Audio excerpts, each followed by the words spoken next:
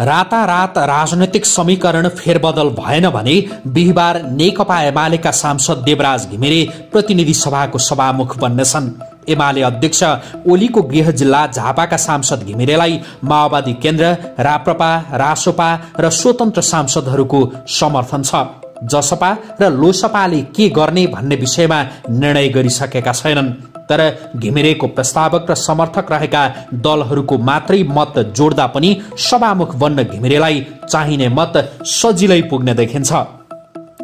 प्रतिनिधि सभामा नेकपा एमालेका उनासी माओवादी केन्द्रका बत्तीस राष्ट्रिय स्वतन्त्र पार्टीका बीस र राप्रपाका चौध सांसद छन् जसको कुल संख्या एक सय पैंतालिस पुग्छ जबकि दुई सय पचहत्तर सदस्यीय प्रतिनिधि सभामा सांसद बन्नका लागि एक सय अडतिस मत मात्रै भए पुग्छ। संसदको यो अङ्कगणितलाई हेर्दा घिमिरे सभामुख बन्ने निश्चित छ। तर नेपाली काङ्ग्रेस सहित सरकार बाहिर रहेका दलहरूका तर्फबाट ईश्वरी नेउपानेले पनि सभामुखको उम्मेद्वारी दिएकै छन्। संसदमा अहिले देखिएको अङ्क गणितमा उलट पुलट भयो भने देवराज घिमिरेको सभामुख यात्रा रोकिन पनि सक्छ। तर त्यो सम्भावना अत्यन्तै न्यून र कमजोर छ। अहिलेको राजनैतिक मौसमलाई निहाल्दा त्यस प्रकारको चमत्कार हुने देखिँदैन। त्यसैले एमालेका देवराज घिमिरे सभामुख बन्ने निश्चित छ। अब कुरा गरौं को हुन् त देवराज घिमिरे। देवराज घिमिरे ती सांसद हुन् जसलाई स्वतन्त्र उम्मेद्वार स्वागत नेपालले गएको निर्वाचनमा झापा क्षेत्र नम्बर दुईमा आछु आछु नै पारेका थिए। झन्डै झन्डै स्वतन्त्र उम्मेद्वार स्वागत नेपालले घिमिरेको संसदीय यात्रा रोकिदिएका थिए। सुरुवातदेखि नै स्वागत नेपालले लिएको अग्रता अन्तिम समयमा आएर मात्रै घिमिरेले तोडेका थिए। स्वागत नेपालले छब्बिस हजार चार सय पचपन्न मत ल्याएर निकटतम प्रतिस्पर्धी भन्दा देवराज घिमिरेले अठाइस हजार सात सय सोह्र मत ल्याउँदै झापा दुईबाट निर्वाचित भएका थिए। स्नातक तहसम्मको शैक्षिक योग्यता रहेका घिमिरे झापाको अर्जुन धारा नगरपालिका वडा नम्बर छका स्थायी बासिन्दा हुन्। तर उनको जन्म भने ताप्लेजुङको सिरिजङ्गा गाउँपालिकामा भएको हो। दुई हजार तेह्र साल जेठ तेह्र गते जन्मिएका घिमिरेले ताप्लेजुङको भानु पब्लिक हाई स्कुलबाट दुई हजार उन्तिस सालमा एसएलसी उत्तीर्ण गरेका हुन् भने धरानको महेन्द्र बहुमुखी क्याम्पसबाट आइए र त्रिचन्द्र क्याम्पस काठमाडौँबाट स्नातक गरेका छन्।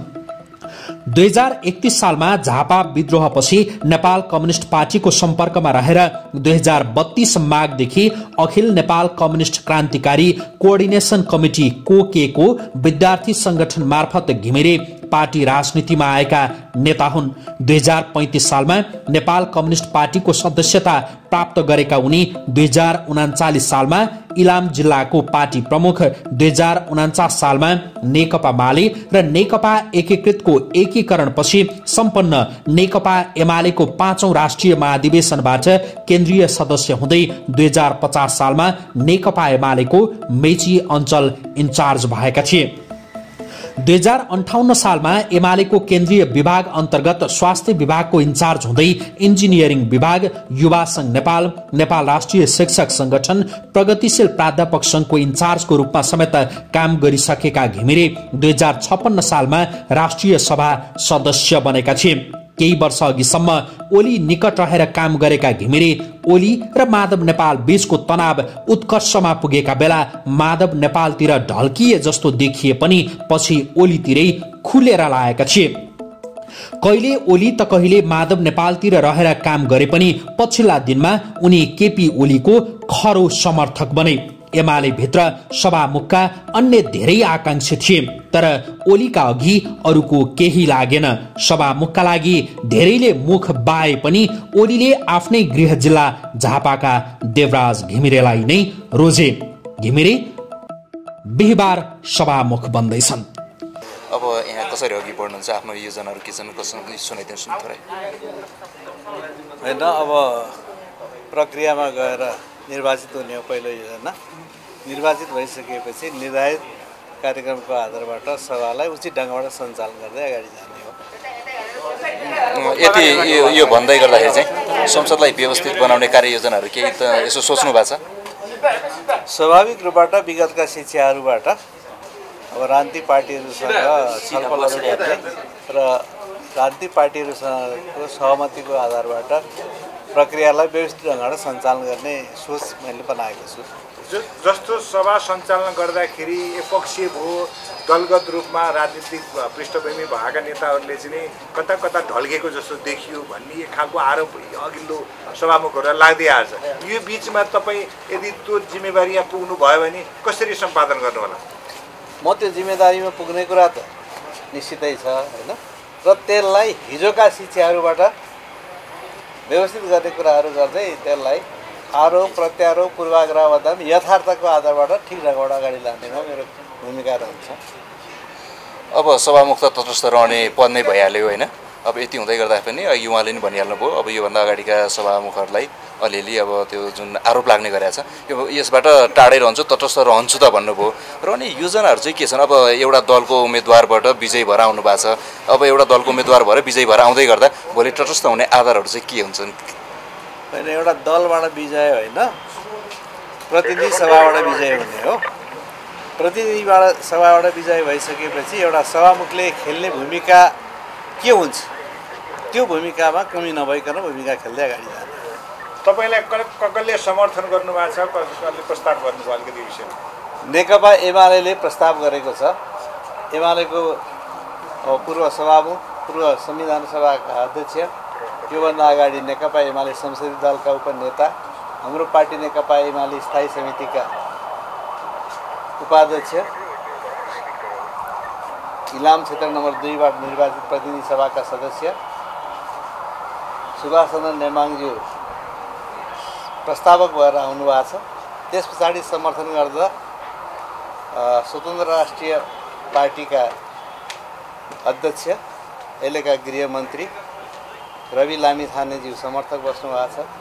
त्यसै गरेर राष्ट्रिय प्रजातन्त्र पार्टीका अध्यक्ष तथा अहिलेको ऊर्जा मन्त्री ऊर्जा तथा सिँचाइ मन्त्री राजेन्द्र प्रसाद लिङ्गदेनजी समर्थक बस्नु भएको छ। त्यसै गरेर नेकपा माओवादी पार्टीका नेता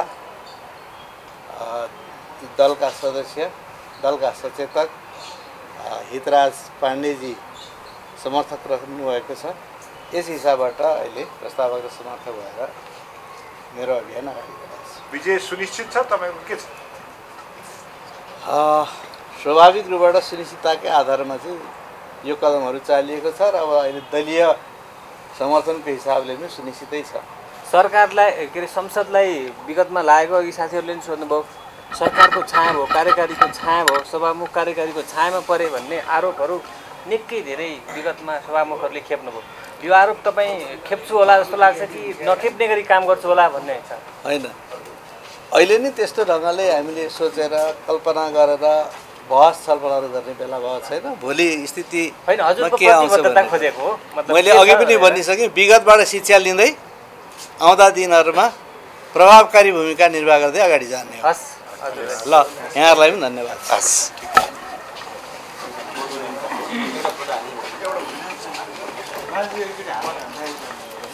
हल्लाउने सम्पूर्ण मिडियाकर्मी साथीहरूलाई धेरै धेरै धन्यवाद छ। धेरै जिज्ञासा उठ्नु भएको छ तपाईँहरू हट्दिनु एकछिन तपाईँ हट्दिनु न तपाईँ हट्दिनु न दाइ। एकछिन हट्दिनु न। हट्दिनु नि तपाईँहरू एकछिन एकछिन हट्दिनु नि तपाईँहरू जनताहरूको जिज्ञासालाई ठिक ढङ्गबाट तपाईँहरूले पुरा गर्नुहुनेछ। त्यही मैले तपाईँहरूप्रति अपेक्षा राखेको छु।